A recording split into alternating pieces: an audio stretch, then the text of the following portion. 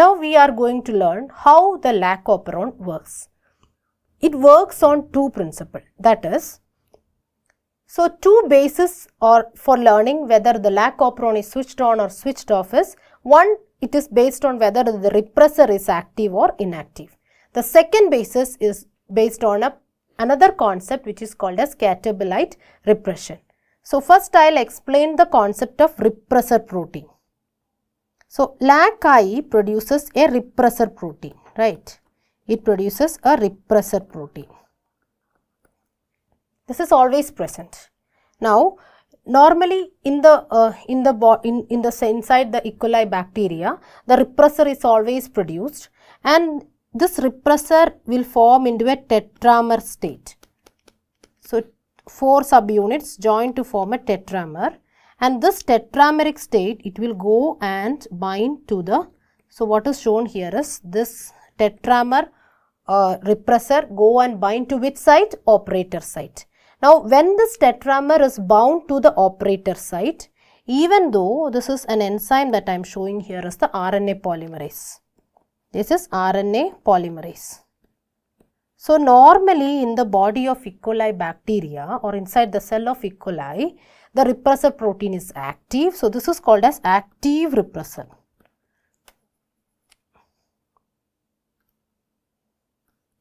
So, you can see this is the active repressor. So, when the repressor is active in the tetramer state, it is going and bind to the operator site and this enzyme called as RNA polymerase cannot move forward which means this gene is not expressed.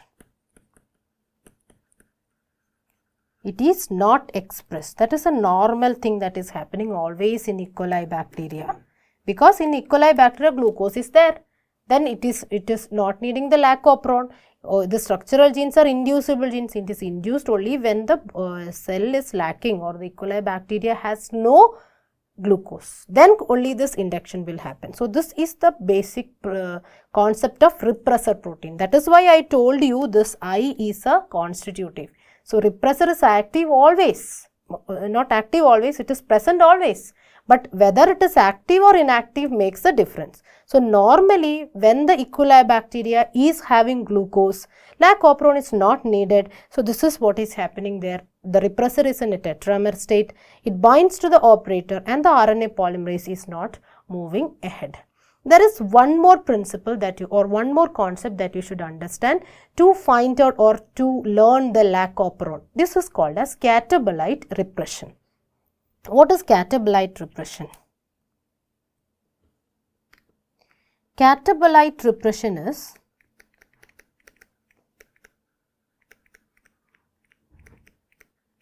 is explained by a protein. That protein is called as cap or CRP. This CAP or CRP is catabolite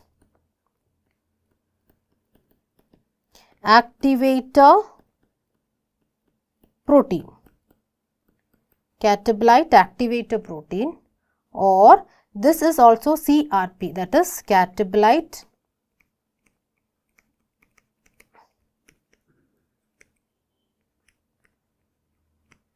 repressor protein. So, two names are there CAP or CRP. Actually, a, uh, the name will confuse you whether it is activating or CRP. Actually, what happens is this CAP is a positive regulator. It's a very, very important question. The CAP, CAP is a positive regulator.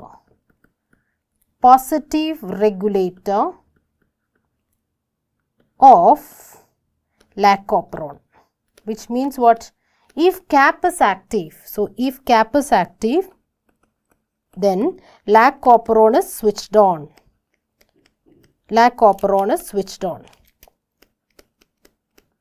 Lac operon is switched on. That is what I've given as a plus symbol.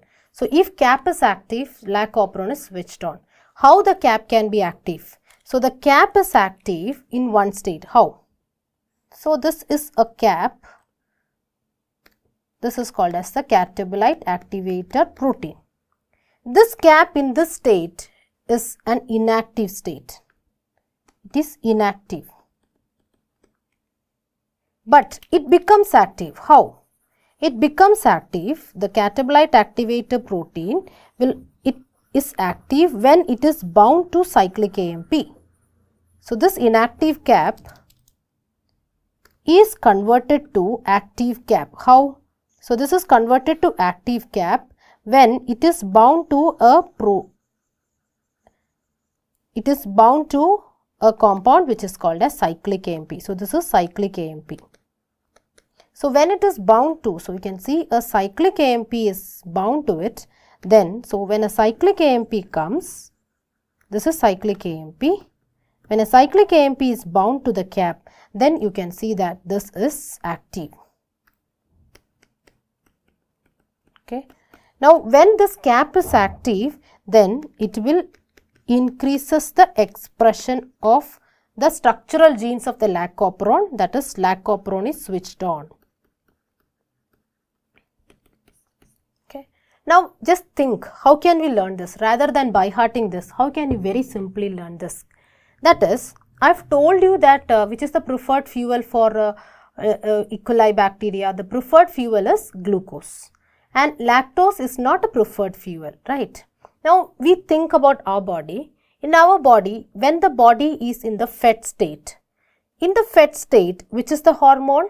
Insulin is the hormone. And you know that in the fed state, the blood glucose level is very high. So, when the blood glucose level is high, insulin is present in our body.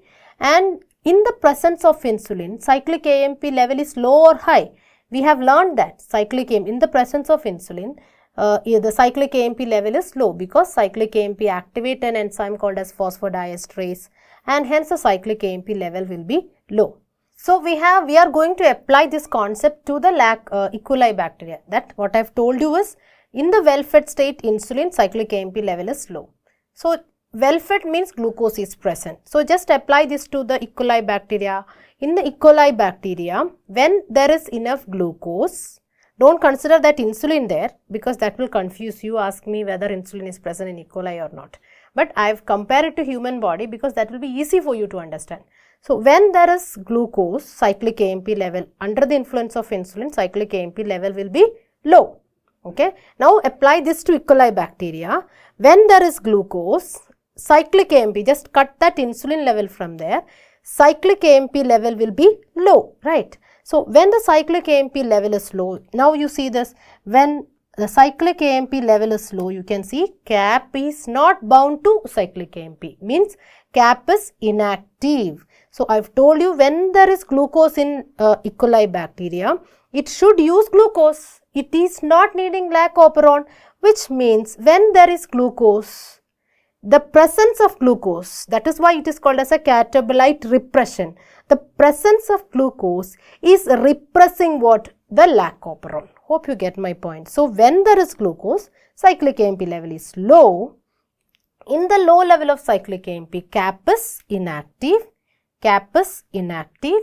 So, uh, what is cap? It's a positive regulator of lac-operon. So, that is lac-operon is a positive regulator, but inactive cap is not a positive regulator means the lac-operon is switched on sorry switched off because the um, the E. coli is having enough glucose it is not having uh, or it does not have to metabolize the lactose right now we think about the next situation that's why it is called as catabolite repression that is presence of glucose is repressing the use of lactose that is why it is called as catabolite repression now one more thing is when there is no glucose then the E. coli has to depend on lactose. Now you apply this concept to our body.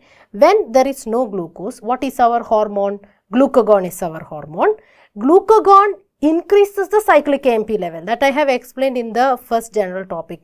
Like it increases the level of cyclic AMP. Now, in the presence of cyclic AMP, what is the state of this cap? The cap is active okay. So, when there is no glucose, the only source of fuel, now we are applying this to E. coli bacteria, just cut that glucagon from there. When there is no gluco glucose, means cyclic AMP level is high.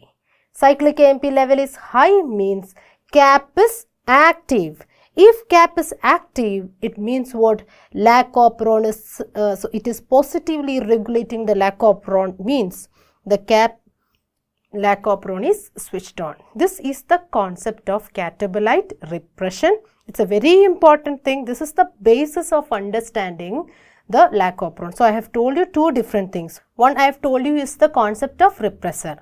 That means in the presence of uh, that is normally always the repressor protein is active. So, normally lacoperon is switched off. Next what I have told you is about the catabolite repression.